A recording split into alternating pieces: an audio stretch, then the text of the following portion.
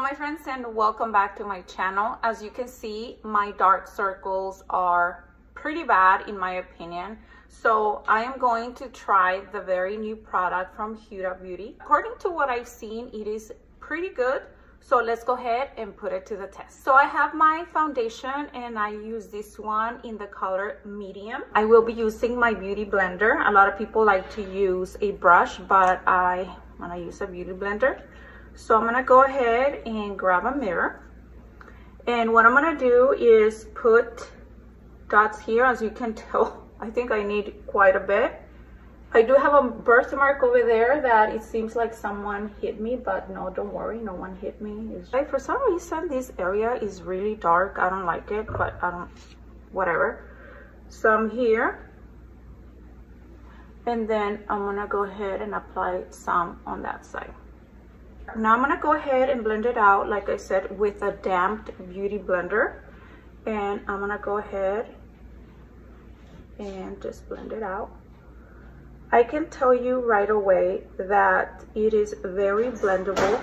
Now, do keep in mind that I am 40 years old and you can tell the difference already, okay? It covered very smoothly. I'm gonna go ahead and do a close-up for you very blendable very creamy. I usually like to use the shape tape concealer but i think i found my new favorite okay? Um, it does have pretty good coverage. The only thing is that i would like to find a lighter shade. I think this shade is very close to my skin color.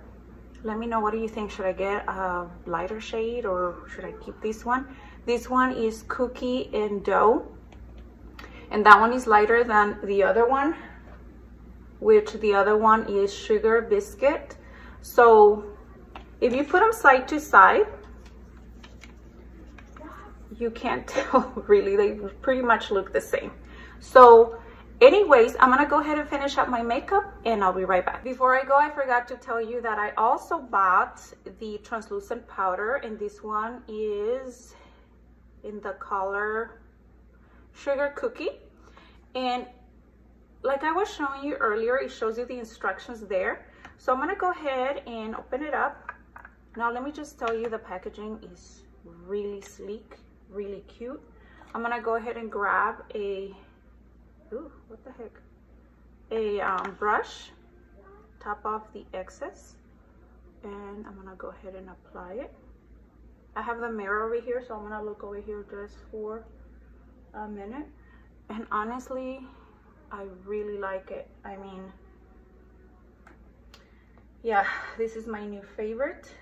And you know what? It says to put it on the under eye, but I'm gonna go ahead and set my entire face with this powder. So that's what we have so far. I'm gonna go ahead and set everything with Fix It from MAC. And yes, it is a lot. Here in Texas, it's like 100 degrees, so I need it, okay? I'm gonna finish the rest of my face and I'll be right back. Okay, so this is the final result. A very simple makeup because of course it's super hot outside, but nevertheless, you can see the coverage. I think, uh, yeah, this is a keeper. Anyhow, don't forget to subscribe to my channel and like always, I will see you on my next video. Hasta la vista. Adiós.